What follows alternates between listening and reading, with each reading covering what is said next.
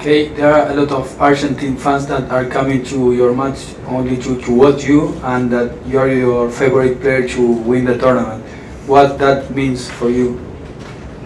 Oh yeah, I'm having fun on the court. Um, especially the people, you know, crowds really helps me here. Um, it's yeah, it's, uh, it's not you know uh, makes me happy.